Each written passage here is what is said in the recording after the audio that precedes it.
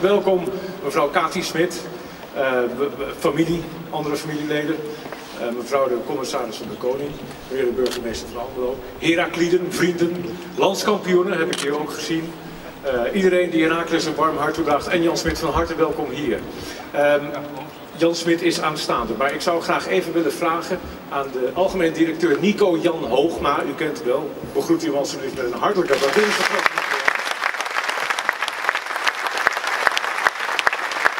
Nico, jij hebt de afgelopen 12, 13 jaar zeer intensief met hem samengewerkt. Dat betekende meestal uh, dat hij zei wat er moest gebeuren. Uh, nee, dat, dat, zo bedoel ik het niet helemaal, maar hier bij deze bijeenkomst heeft hij geen enkele regie gehad. Hè? Jij hebt helemaal niks. Nee. Weet je zeker? Dat, dat, weet ik zeker, ja. Hij weet ook niet wat hem te wachten staat. Hij weet totaal niet wat hem te wachten Dus ik ben ook hartstikke blij dat er zoveel mensen, en dit is gewoon geweldig, het verdient hij ook allemaal, zoveel mensen hier gekomen zijn. Dat uh, zal hem zeer goed doen. Het afscheid van de heer Jan Smit, dames en heren, als voorzitter van deze club, of beter nog, als voorzitter van deze familie. Ik heb het woord net al even gebruikt, want ik denk dat Herakles dat is, familie. Dames en heren, wat deze scheidende voorzitter voor Almelo heeft gedaan, daar kan geen PR-campagne, daar kan geen media-offensief tegenop.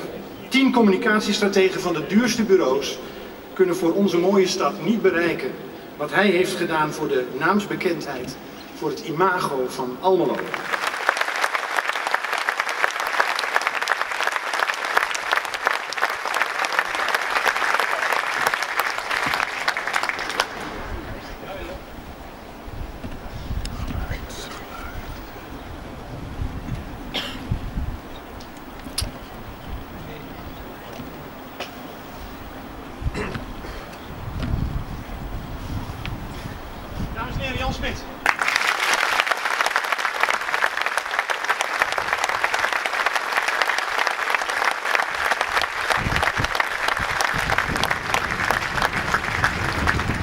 Jij bent altijd bereid je handen uit te steken en te helpen. Belangeloos.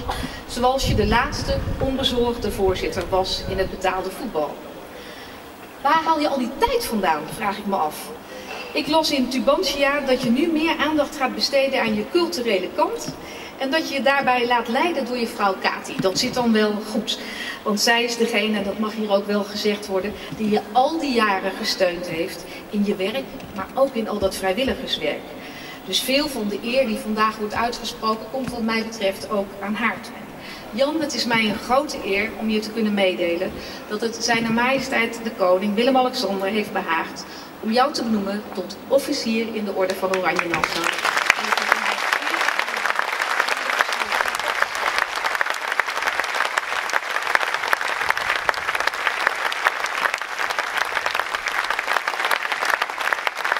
Ik heb vroeger als jongetje uh, gewoond in de Rijgenstraat hier in Almelo. En we zongen daar in die Rijgenstraat als jongetjes onder elkaar vaak het liedje en je bent nog veel te klein om de keeper van Herakles te zijn. Dus de helden van Herakles waren voor ons jongetjes de grote voorbeelden. En dat is nog steeds zo. Want ik was hier een keer bij een wedstrijd van Herakles en toen sprak ik een paar Almeloze jongetjes en ik vroeg hen, jongens wat willen jullie laten worden? En toen zeiden ze werkelijk allemaal deurwaarden. Het was een prachtige tijd. En iedereen die zegt, je gaat nu zeker genieten. Kan ik zeggen, maak je geen zorgen. Dat heb ik de afgelopen 19 jaar als voorzitter ook voor de volle 100% gedaan. De toekomst zal uitwijzen wat ik ga doen. En zwaker naar ons bedrijf in Assen, de Bonte Weven. En met mijn broer Kees naar het Verre Oosten om beurzen voor tuinmeubelen te bezoeken. Want ook Kees met tuinmeubelen zal nog lang doorgaan.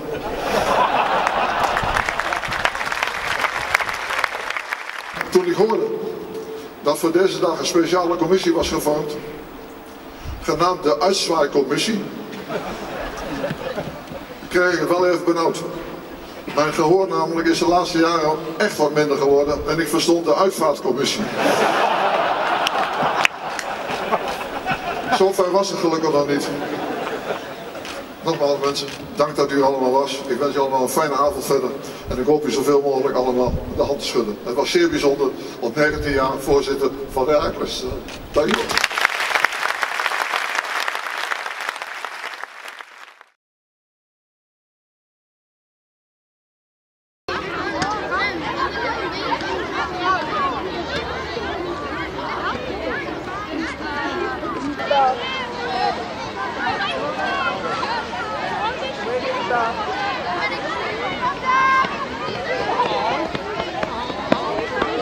Ja, naast het uh, ja, fysieke gebeuren, dus lichaam en geest worden verrijkt door, door de beweging, uh, is natuurlijk ook het sociale aspect van belang. Het samenwerken, het ehm, kunnen verliezen, het willen winnen. Ja, dat is gewoon erg belangrijk, vinden wij. Dat ze leerlingen ja, in beweging blijven, zeg maar. Ja. Kun je eigenlijk zeggen dat het een stuk van het onderwijs is? Absoluut, ja. Dat blijkt ook wel een aantal deelnemers wat we hebben elk jaar. We zitten dit jaar op ruim 1250 leerlingen. En 26 basisscholen, maar liefst uit Almelo. Dus die allemaal vrijwillig meedoen. Dat zegt denk ik genoeg over het feit dat, het, dat het leeft en dat ze mee willen doen. Op hoeveel onderdelen kan er hier gesport worden? Wij hebben een circuit van 12 onderdelen. En één onderdeel is de pauze. Dat zie je hier achter mij uh, allemaal uh, gebeuren. En uh, daarvan zijn zeven onderdelen individueel. Er kunnen dus atletiek onderdelen, hardlopen, kogelstoot onder andere. En vier onderdelen zijn samen. Voetbal, matbal, echt in teams werken. Dan komt het samenwerken dus aan, aan bod. Dan heb ik hier een aantal onderdelen gezien vandaag die ik op een normaal atletiekveld nog nooit gezien heb. En waar duid je dan op? ja, inderdaad, het bandslingen. Ja, um, nou, jij bent natuurlijk te maken met leerlingen, niet echt met, uh, met, uh, met sporters of met atletiek uh, mensen. Um, het is een afgeleide van het discuswerpen. dus, en de band is, als je die tegen je aan krijgt, ietsjes prettiger dan een, een discus, kan ik je vertellen.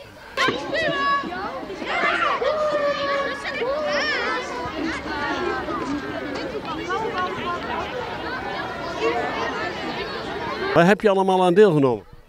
Um, ik heb um, daar gerend, over dat ding gesprongen en gevoetbald en uh, bandslingen gegooid.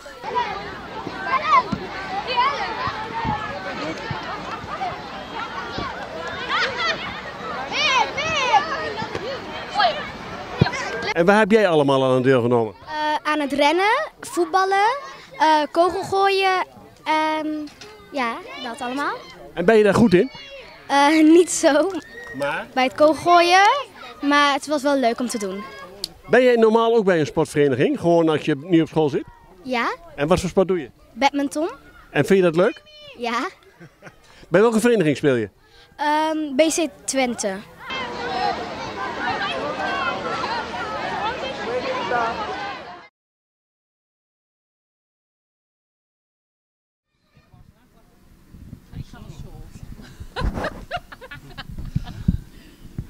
Uh, u bent Evelien? Ja, dat klopt. Ook Evelien. Ook Evelien. Hoe lang doen jullie die organisatie van de avondvierdaagse in Adorp? Uh, nu voor het zesde jaar. Wij zijn nog steeds dezelfde Evelien. ja. Nog last gehad van de warmte? Ja, uh, op maandag, uh, afgelopen maandag, toen we wilden starten, toen was er natuurlijk ook de weersvo weersvoorspellingen dat er uh, noodweer zou komen. En vanuit de wandelband werd afgeraden om überhaupt te gaan lopen. En wij hebben dat aardig uitgesteld en maar overleggen de hele dag. En uh, wij zouden om half vijf de knoop doorhakken. En toen kregen we allerlei spannende telefoontjes van de RTV, of RTV Oost en de NOS en Tubantia. Ja, Tubantia. Dus ja. we werden de hele dag gebeld van, en weten jullie het al en gaan jullie door? Dus wij uh, waren daar lichtelijk zenuwachtig over, maar vanwege het bijdraaien van het weer hebben we toch besloten om het uh, door te laten gaan. En daar zijn we heel blij om en de wandelaars ook. We worden uh, ondersteund, uh, of de wandelaars worden ondersteund door de Harmonie uit Friesveen. En uh, ja, dat doen ze ook al voor het zesde jaar. En ja, geweldig, fantastisch. Ja, ze komen vanaf, vanaf de brug, sluis, daar verzamelen we allemaal. het is even een puzzel, want de bussen die, die passeren elkaar. En dan ehm, komen ze hier naartoe via de Albertenstraat, gaan ze de Berkelaan in. En dan, um, even denken, de Acacialaan, Eikenlaan een stukje. En dan via het Kerkenplein lopen ze weer terug naar het Aarhus. En dan zijn ze hier allemaal. En hier hebben we dan nog een afsluitende verrassing. Mag ik dat weten, wat die verrassing is? Uh, ja, wordt morgen uitgezonden, hè? ja. Kan heel veilig. Um, ja, wij, wij hebben een, uh, een frietkraam krijgen we hier. Dus voor alle mensen die uh, meewandelen krijgen ze een frietje. Dus dat is hartstikke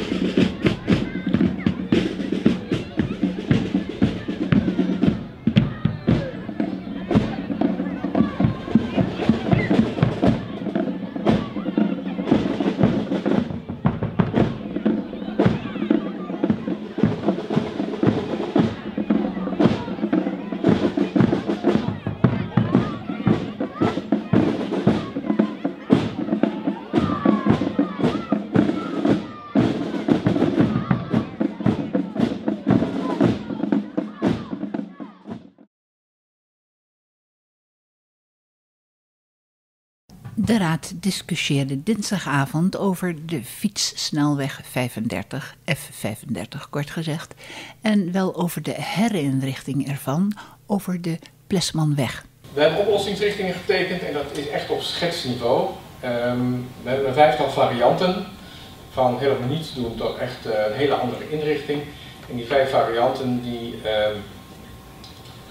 die zijn voortgevloeid uit onze eigen uh, expertise, maar ook uit gesprekken die, die we de laatste tijd hebben, hebben gevoerd over wat er gebeurt daar nou daadwerkelijk elke dag op en rond die Plesmanweg. en wat vinden mensen belangrijk. Um, nul variant is heel eenvoudig. zoals de wethouder zei, de straat eruit, riool erin en de straat er net zo weer in. Misschien wat minder parkeervlakken, maar dan heb je het ook verder wel, wel gehad qua... U heeft zojuist een gesprek gehad over het fietspad over de Plesmanweg. Hoe is dat afgelopen? Het was een politiek beraad waarbij de fracties zich willen oriënteren op uh, ja, de varianten die nu aan de Plesmanweg worden ingetekend. Uh, daar wordt naar gekeken omdat de Plesmanweg op de schop moet, ook vanwege de riolering. En waar wij voor pleiten is om breder te kijken en om ook tracés uh, om het industrieterrein en zeker om de Plesmanweg heen goed te bestuderen. We hebben het idee dat dat tot nu toe niet is gebeurd. Omdat we de combinatie van al die bedrijvigheid, al dat vrachtverkeer, 44 in, dan wel uitritten, met een fietspad uh, wat zo breed is dat het uitnodigt om door te fietsen, met elkaar te kletsen, twee breed naast elkaar of misschien zelfs met een opgevoerde e-bike 40, 45 per uur te gaan rijden. Wij zien dat als een hele gevaarlijke combinatie en daar hebben wij vanavond op gewezen. Maar uh, dan heb ik gehoord dat er een variant is uh, waarbij de kleur verandert. Dus nee, wordt niet rood, maar zwart. Ja, ik denk dat de breedte van het fietspad en, en een tweebaans fietspad aan één kant uitnodigt om flink door te trappen. En zoals ik zei, naast elkaar, misschien wel met de telefoon in de hand, door te fietsen. Daar is zo'n hoofdfietsroute of een, fietssnelweg zelfs ook voor bedoeld. En dat gaat niet samen met, met zoveel gevaarlijke punten op zo'n kort tracé. Zitten alle ondernemers op één lijn? Ja, voor zover ik ze heb gesproken, heeft men allemaal toch wel zoiets van: jongens, laten we nou vooral kijken langs het kanaal. Dat is een heel lastig tracé, dat zal ook duurder worden. Maar dat is een, een tracé wat fietsers aantrekt. Of het oorspronkelijke idee uh, aan de noordkant eromheen, uh, wat niet voor niks al uh, in 2008 zo is vastgesteld.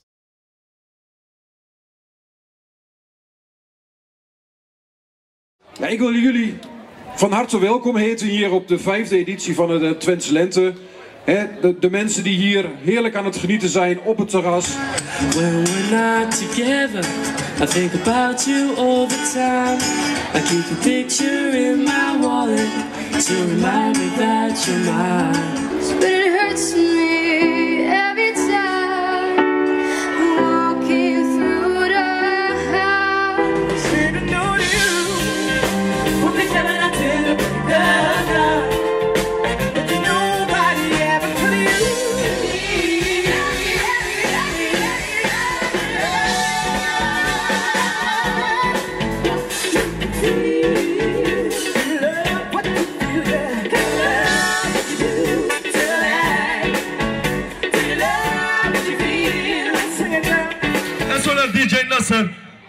Almelo, laat jullie even horen! Hey, we gaan er even wat tempo in gooien, man. Alles hier is? Alles hier is? Hey,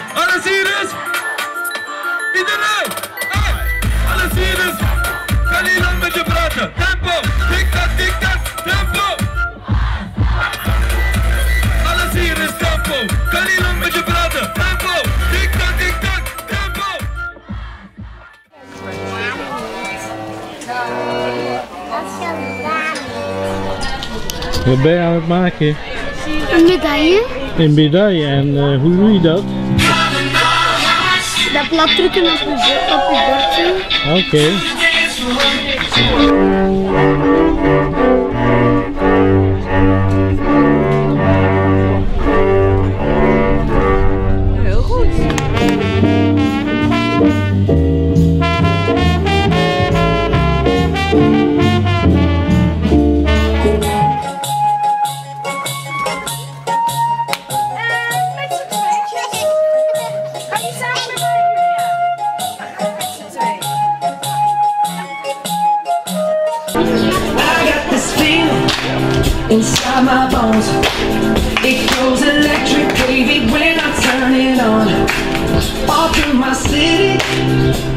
My home.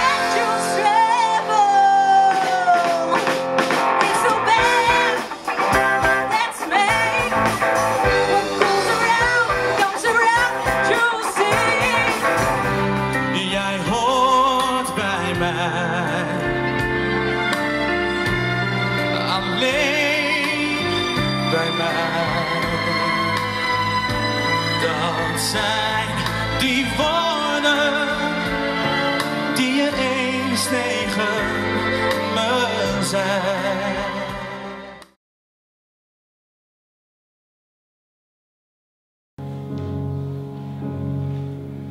Als de muziek stopt, dan dooft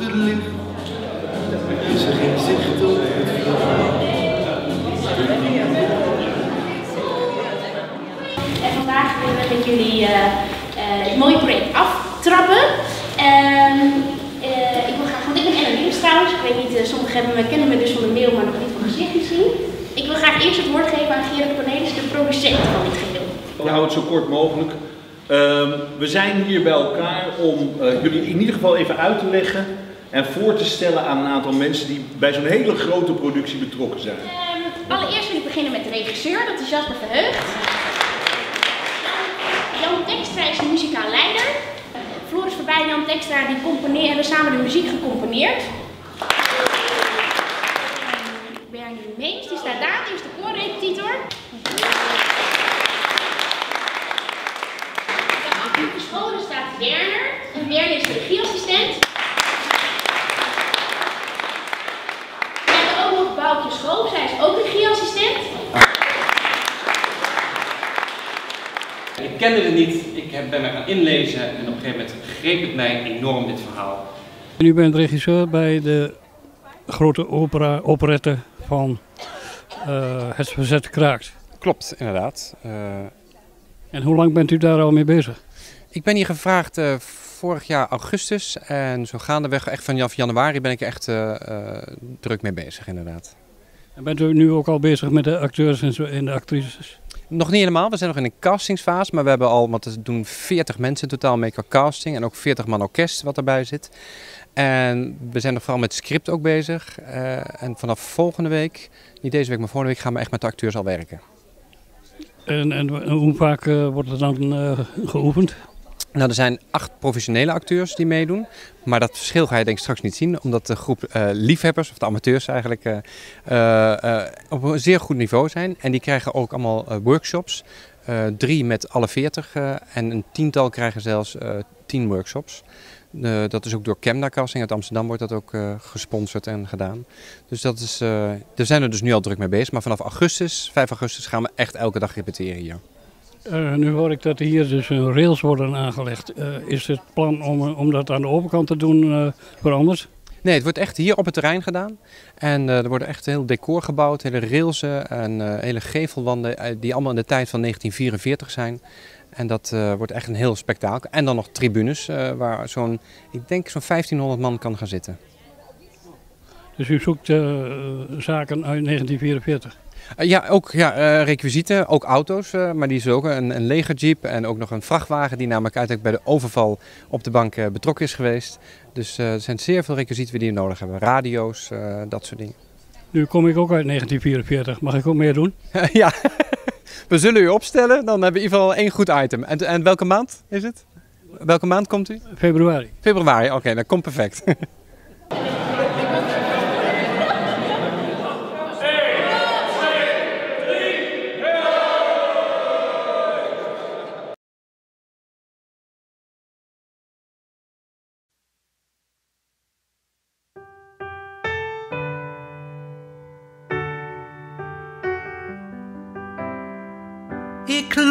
om jou meer tijd te geven.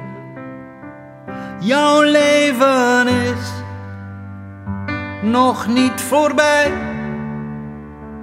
Al voelt het, denk ik, als verdrinken.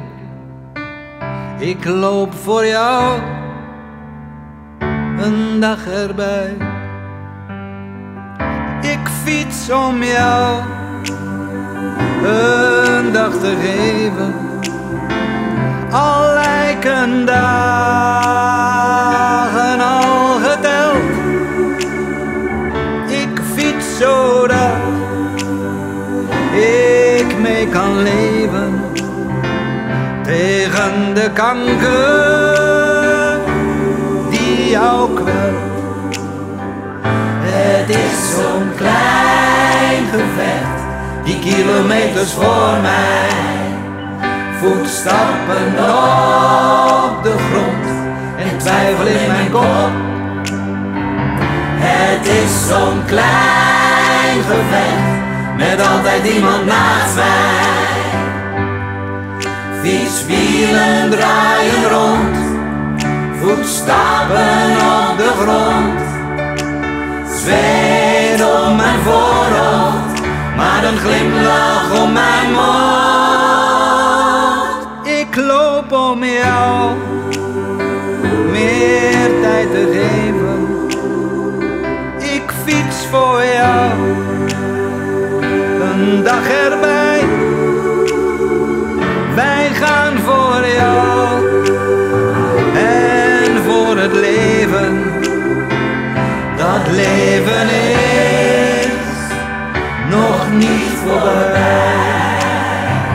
Het is zo'n klein gevecht, die kilometers voor mij. Voetstappen op de grond en twijfel in mijn kop. Het is zo'n klein gevecht, met altijd iemand naast mij. Fietswielen draaien rond,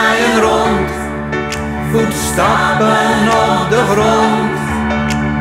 Zweet op mijn voorhoofd, maar een glimlach om mijn mond. Ik loop om jou, Ik loop om jou meer tijd te geven. meer tijd te geven. Ik fiets voor jou, Ik fiets voor jou een dag erbij.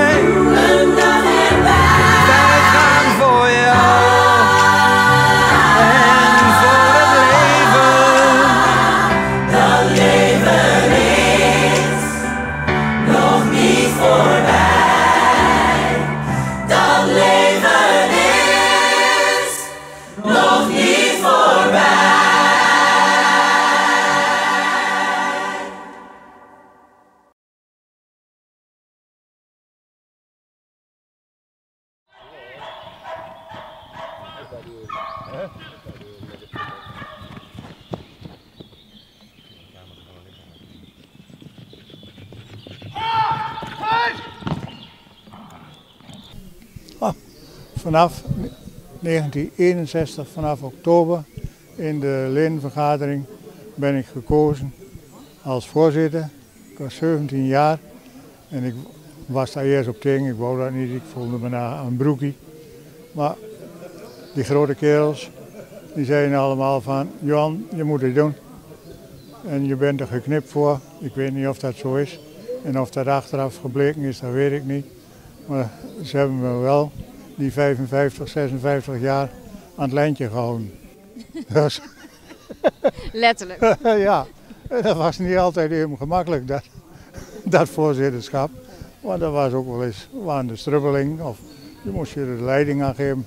En dan eh, tot op een gegeven moment, en dat is met alles zo, dan moet je de laatste doorslag geven van zus of zo. Ja? En je moet toch proberen om de ploeg bij elkaar te houden. En iedereen toch zo'n plezier laten beleven aan die hondsport. Want dat is uiteindelijk de opzet. En we doen dat hier allemaal met eigen middelen. Subsidies en dergelijke dingen krijgen we niet. Alleen we mogen dit trein gebruiken van de gemeente Almelo. En daar zijn we heel blij mee.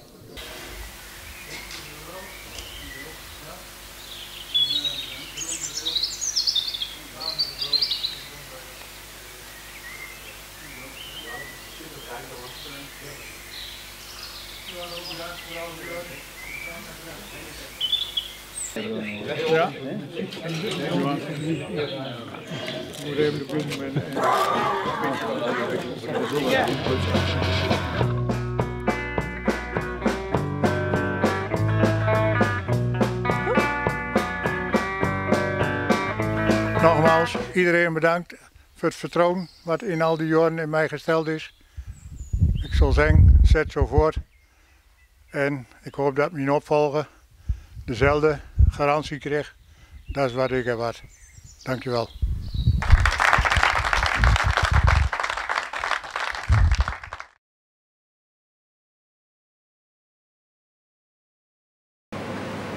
Forten. Mogen wij het in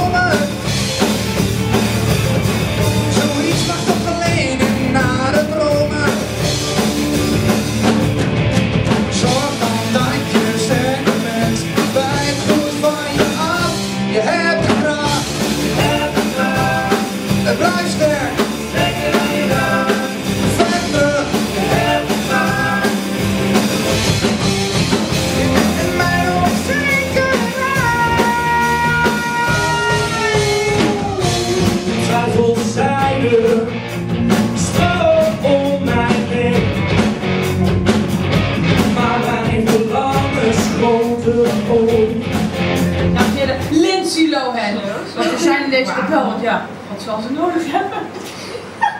Mijn god, zo groot had ik het echt niet verwacht. Wat een plek voor een feest. Hoe groot is dit dan?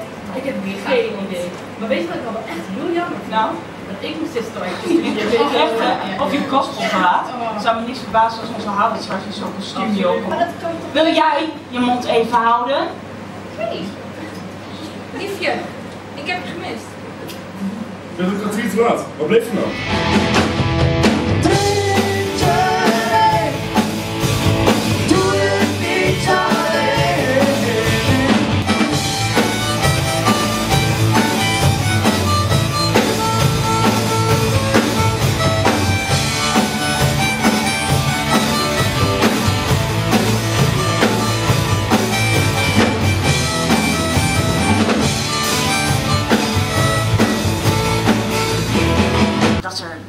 iemand onderaan het balkon stond. Ah. Romeo, oh Romeo. Ja, hou er nou maar gewoon over op. We weten het nu wel, Weet Het is nu wel een keer leuk geweest, toch? Ah, nou. Wat heb jij niet? Ja, ik niet. Het is maar een gedicht. Niet... Ik zou sterk zijn.